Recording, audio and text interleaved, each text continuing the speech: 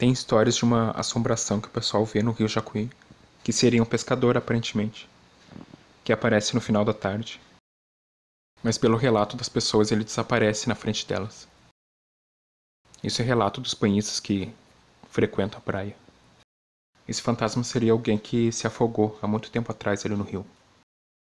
Ele seria um ribeirinho e que estava pescando e foi puxado com muita força para debaixo d'água. Não se sabe o que foi que puxou ele. Parece que a casa dele ainda está no meio daquele matagal, só que abandonada.